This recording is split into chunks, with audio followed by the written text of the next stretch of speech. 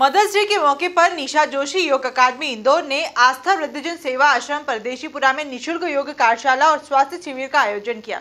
इस मौके पर महिला रोग निवारण में योगिक चिकित्सा की भूमिका विषय पर प्रकाश डाला गया ताकि योग के ज़रिए निरोग रहकर महिलाएँ भी स्वस्थ जीवन जी सके। देखिए इसी पर हमारी खास खबर। आस्था वृद्धजन सेवा आश्रम में आयोजित कार्यक्रम में सबसे पहले महिला वृद्धजनों को फूल देकर उनका सम्मान किया गया, जिसके बाद केक काटकर मातृ दिवस की शुभकामनाएँ भी दी गई। बाद में योग के ज़रिए निरोग रहने की सीख भी दी गई है।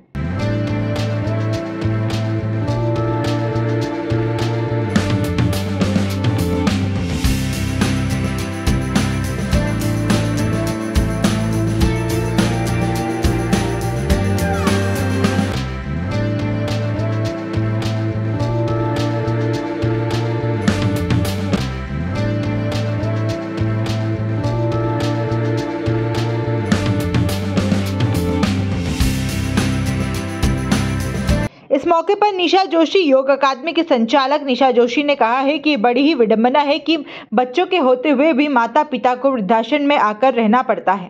योग चिकित्सक निशा जोशी मिशन कोंतिया के ज़रिए योग शिक्षकों को प्रशिक्षण भी दे रही है, जिनको उनके स्टूडेंट्स माँ के रूप में पुकारते हैं।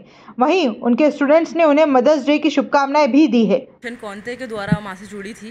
और पहले मैं मैम कहती थी जब मैं जानती नहीं थी लेकिन ये सारी चीज़ें फीलिंग्स आपके अंदर से आती है। आप यूँ ही माँ नहीं कहते आ, किसी कारण से नहीं कहते। ये तो दिल से सारी चीज़ें आती है कि वो हमारी गुरु माँ है। एक गुरु शिष्य परंपरा हमें मिशन कौनते से मिली।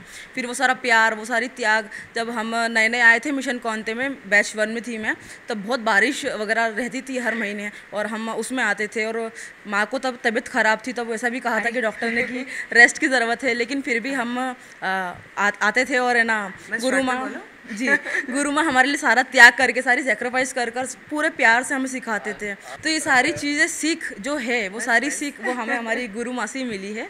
तो मैं यही कहूँगी कि सारी चीज़ें फीलिंग्स जो है प्यार वो ऐसे आती है अंदर से आती है हमारे हृदय से आती है। कोई किसी को सिखा कर माँ नहीं खेलवा सकता।